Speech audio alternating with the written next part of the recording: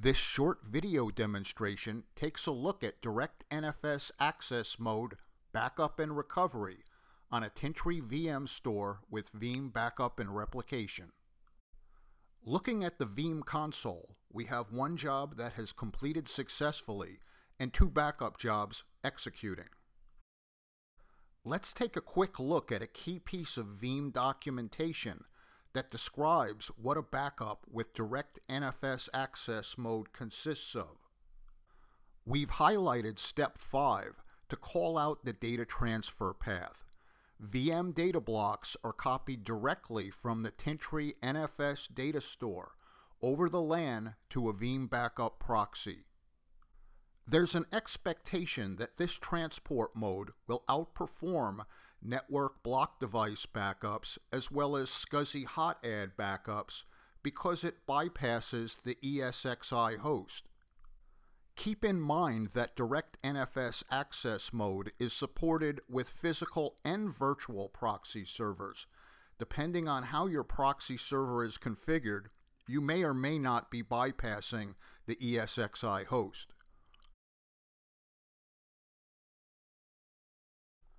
Back on the Veeam console, each client has three virtual disks of 512 gigs, and the disks are being backed up simultaneously.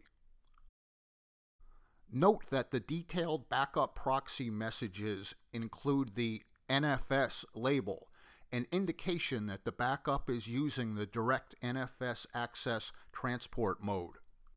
A questions we sometimes hear being asked is whether or not direct NFS backups use VMware snapshots.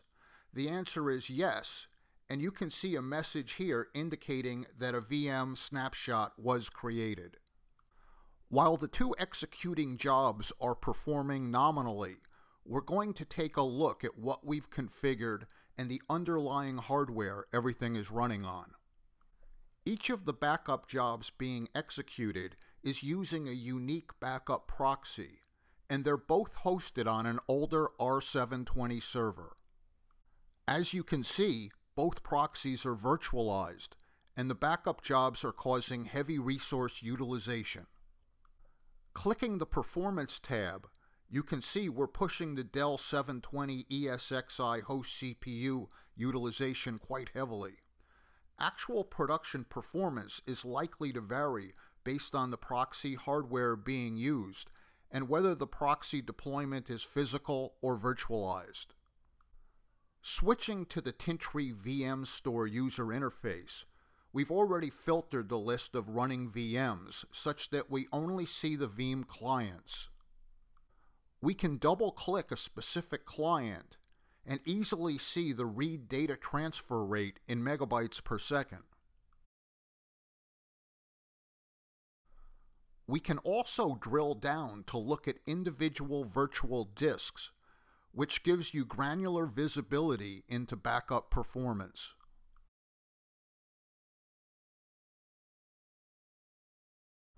Within the lab, we're using a second Tintri VMstore as storage for our proxies as well as our backup repositories.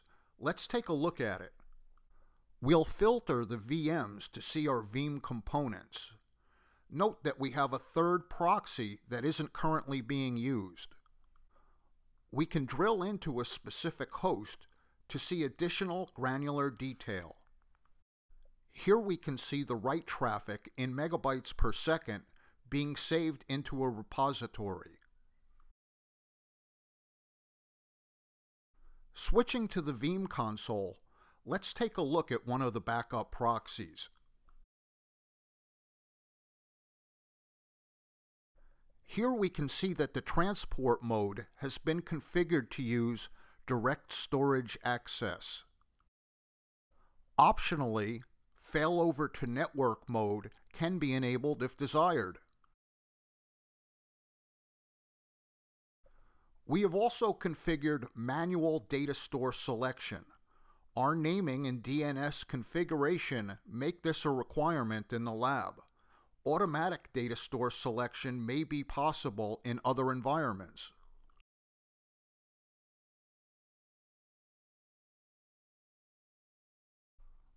Looking at a backup job, we select the storage settings and then select Advanced Settings. On the Storage tab, we have deselected the option for inline deduplication, and we've also selected a compression level of none. We did this because the Tintri VMstore we're using as a backup repository performs compression and deduplication. On the vSphere tab, we've made sure that Enable VMware Tools Quiescence has been deselected. This is a limitation imposed by the Direct NFS Access Mode Transport. Taking another look at the Veeam Admin Guide, this limitation is clearly documented.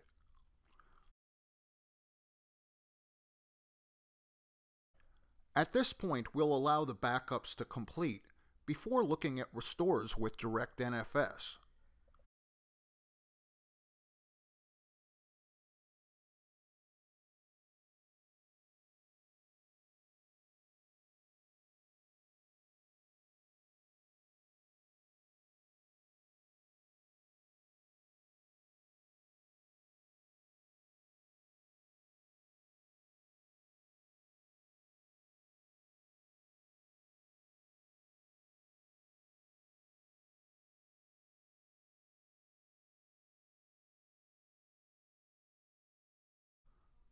Alright, we click the Backups disk icon to take a look at recovering data.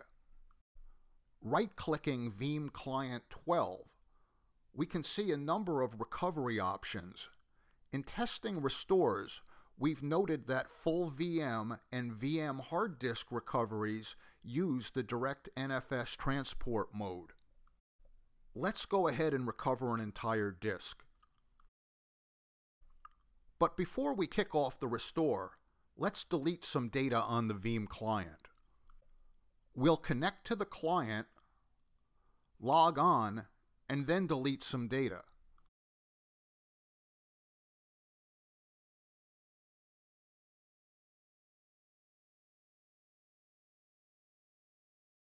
Formatting the Y drive will suffice for this demonstration.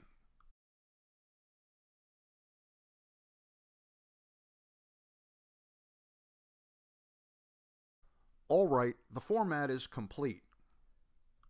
And the drive is empty.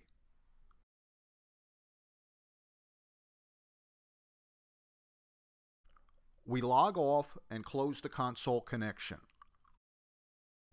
Back to the restore.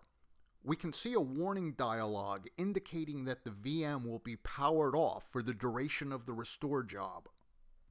We'll select this VMDK which correlates to the Y drive we formatted earlier. We input a restore reason and continue. We enable the option of powering on the VM after restoring and continue. As the restore proceeds, note that Veeam has selected the VMware Backup Proxy the first use of this proxy within the context of this demonstration. This proxy is also virtualized and resides on a Dell R710 host. Also note the NFS label, which indicates that this restore is using the direct NFS access mode transport. Fast forwarding through the restore we can see the single disk restore data transfer rate displayed in the log.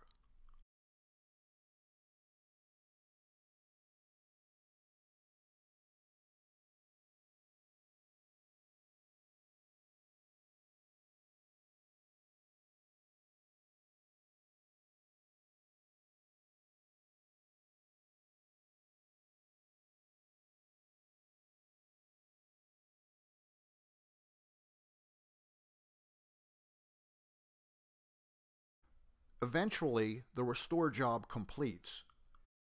At this point, we'll take another look at the client.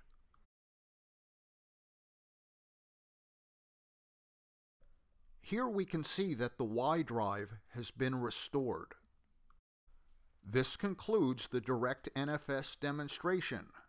Thank you.